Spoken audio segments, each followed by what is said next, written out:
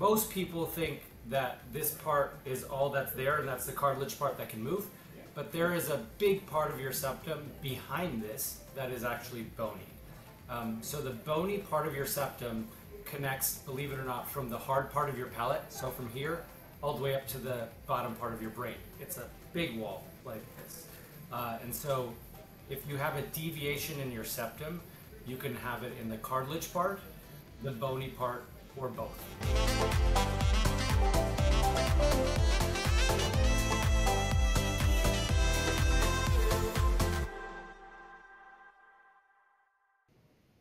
Hey guys, welcome to another episode of We Nose Noses podcast.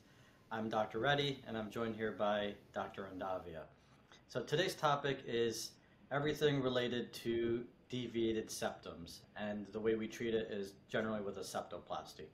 So first, I'm going to have Dr. Undavia talk a little bit about, you know, what is a deviated septum? Um, good question. So deviated just means crooked. Um, so you have a nose that you could see from here to here, but to be honest, the nose is huge. It goes all the way back to the ear. And the nose has two openings there called your nostrils, and they have a wall that should go straight all the way to the back. Um, but a deviation means that it's crooked like this, um, and it can cause nasal obstruction, uh, which is just difficulty breathing but it can also cause plenty of other problems that we'll talk about in a second. You um, don't have a crook. You don't have to have a crooked nose to have a deviated septum. Actually, um, you may never know that you have a deviated septum. So many people have deviated. Can you go over the difference in terms of the deviated septum? There's there's a bony part of the septum, and then there's the cartilaginous part of the septum. And then there's a part of the septum on the inside that you can't see, and then the part of the septum that you can see on the outside. Can you talk a little bit about the nuances between all of that? Definitely. I we actually I think I, I could speak for Dr. Reddy and myself. We both love this surgery. Um, it's probably one of our favorite things to do, and so we can just jump into any part of the topic at any point. But it is worthwhile to talk about the anatomy. Um, so the nose that you see on the outside has three distinct um, separations. So there's the upper third, the middle third, and the lower third. The upper third is nasal bones, and then the lower third and the middle third are cartilage. And the septum, that wall that divides the nose into left and right, comes all the way up to the top and gives you the height that you have right here. Um, so most people think that this part is all that's there and that's the cartilage part that can move, but there is a big part of your septum behind this that is actually bony. Um, so the bony part of your septum connects, believe it or not, from the hard part of your palate, so from here, all the way up to the bottom part of your brain. It's a big wall like this. Uh, and so if you have a deviation in your septum, you can have it in the cartilage part, the bony part, or both. Just for anatomic purposes, the, the cartilaginous part, the front part of the septum, is referred to oftentimes as a quadrangular car- cartilage. And then the bony part generally is going to be the maxillary crest, which is on the bottom, and posteriorly or way in the back is going to be referred to as the vomer part of the cartilage. So now that we know what a deviated septum is, the question is if you have a deviated septum, what does it actually cause? Do you want to touch a little bit about that? Yes. So um, there's a few there's a few symptoms that you may have. Um, the first might be very obvious. You have a crooked nose. You have a crooked nose likely means that you have also a crooked or deviated septum. Um, the second and third symptoms, or the, the, the other symptoms, are more about what you feel, not about what you see. Um, you could have difficulty breathing on one side or both sides, even though the deviation is only on one side. You could have nosebleeds. You could have a runny nose only on one side. You could have uh, pressure, pressure on one side. You could have sinus infections. Um, believe it or not, you can actually have ear symptoms only on one side, popping or congestion on one ear uh, compared to the other. Um, there, there are many symptoms that a deviated septum can give you. Um, but there are also a whole host of patients that have deviated septums that we see that we don't fix. So just because you have a deviated septum doesn't mean you need to fix it. I was going to ask Dr. Reddy, what are the things that your patients who you see in the office complain about when they when you eventually book them for a deviated septum surgery? Yeah, so like Dr. Undavia was saying, a lot of people actually have deviated septums. The majority of people with deviated septums actually have no symptoms at all. The, devi- the deviation doesn't usually cause symptoms. But the most common complaint that I get is trouble breathing through your nose. And the trouble breathing through your nose is usually worse when you're doing some type of strenuous activity, you know, like working out or sports or something like that. And the other common time where people complain of trouble breathing through their nose is when they're laying flat and when they're trying to sleep. And that's because if you already have a narrowing of your nose and then you're laying flat and your nose is now getting more congested with blood flow because of gravity and your nose is at the same level of your heart, that's when you can have the, the signs and symptoms of a deviated septum can become more apparent. So those are uh, some of the main symptoms that we see. Sure. Do you remember the name of the formula that you that you learned in physics for airway resistance? Ah, geez, that's what Bernoulli's principle. Are you referring to? Well, there's I think it's I'm gonna butcher the name. It's like Passois law or something like that. But in any case, it's it's a it's airway resistance is inversely proportional to radius to the fourth power. So a really tiny change in radius, so patients with a deviated septum that's only only a millimeter off on one side or the other, can have a very significant impact in breathing. Correct. Anyway, sorry, Yeah. I wanted to Um, catch you off guard. Well, well, you caught me off guard. so, the uh, let me go over a couple. What are the? A lot of people ask me, why do I have a deviated septum? Right? What would you do? Can you go over like a couple causes of, of deviations? Um, there, there are two basic categories that people fall into. The, the first category is pretty obvious. There was some trauma. Um, and the trauma can be a long time ago, it can be just recent. A big thing that we see is like a basketball injury, like an elbow to the nose, and it kind of slides the septum over. Um, uh, you know, some sports injury. That that's a big part of what happens. Sometimes people fall and they hit their nose, and it can make the cartilage part or the bony part crooked. Um, but things can happen when you're really young. Let's just say you are learning how to walk when you are one year old, when you are one, and you fell on your nose, and then your nose was just slightly crooked. But as your nose grew, your deviation grew. Um, and so you can have these traumatic events at any point in your life, and they can give you this. Um, they can give you this deviation.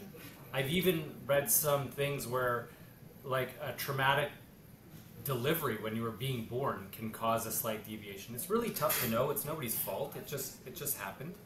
Um, but that's one part. The second part is just that was your genetic code. At some point, your your whether it's the top part or the bottom part, he, uh, you know, just tilted to one side, and then the rest kind of followed like that, and it's been deviated ever since. Those are the two main things. Yeah, and generally, once you have a deviated septum, it is unlikely to get better on its own, right? So as time goes on, your nose starts actually changing shape a little bit, and gravity starts to work on it. And it's kind of like a leaning building over time. That leaning building is slowly probably either going to stay the same or it's slowly going to get worse. And that generally is what happens with deviated septums. Do you want to go over a little bit uh, about the surgery itself and how we fix this? Is there any alternatives to surgery? What are the options if somebody wants their deviated septum fixed? Um, so yeah, the first thing we always do, and we, we have we have another podcast on this about nasal sprays and stuff. But the first thing we, we always like to do is talk about medical versus surgical. So medical treatments, I'll just keep it short, are nasal sprays, sinus rinses, allergy pills. Sometimes you need to do antibiotics. Um, if you still feel any of the symptoms that we talked about earlier in the episode, um, then it's usually time to have your nose fixed. Um, so when we talk about deviated septum surgery, we're talking about doing something on the inside of the nose, and we're talking about taking the crooked parts out of your nose.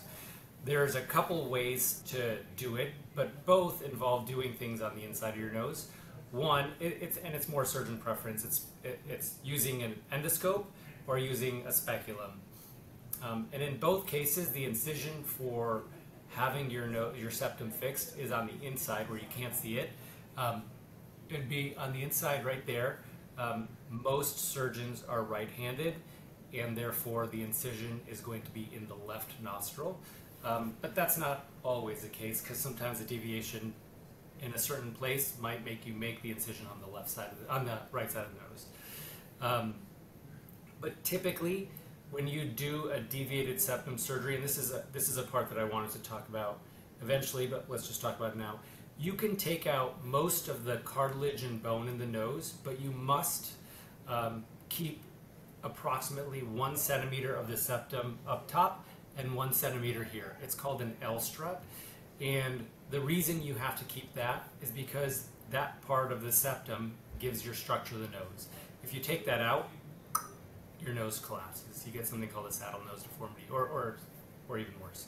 So you, you do have to keep those areas. It won't look like you have all that removed because your, your septum is actually like a sandwich. There's two layers of lining or mucosa on the sides, and then there's the bone and cartilage in the middle. So what we'll do is we separate those layers out. We take out the areas that we need to take out or that we can take out, and then we put those areas back together and we use sutures to hold it in place. The sutures are absorbable. Um, there's a lot of new technology coming out about using um, different types of material to hold those two areas together, but in general, something has to hold those two areas together. Um, in most cases, I don't think you or Dr. Smith use packing inside the nose, right? We don't use packing. Um, occasionally, you have to use splints to hold it in place, but you take out the crooked parts. What I wanted to go over um, is this difficult situation where you take out the crooked parts of the nose, and the one centimeter in the top and front is still crooked. Um, and it's a it's something I encounter a lot it, it's a tough situation, and you have you see that in the beginning before you even operate on those patients, and you just counsel them and you say, you know, you're probably going to get a massive improvement on both sides, but you will have a better side on one side versus the other, and it depends on what side the deviation is on. And it's important that patients just know that going going forward, and they'll they'll understand this because you, you just can't take that out. There's things you can do to make it better, but ultimately, there's going to be a better side on those. Um, so that, that that's what I mainly wanted to talk about. Dr. Reddy, you want to talk about what it's like afterwards to have surgery?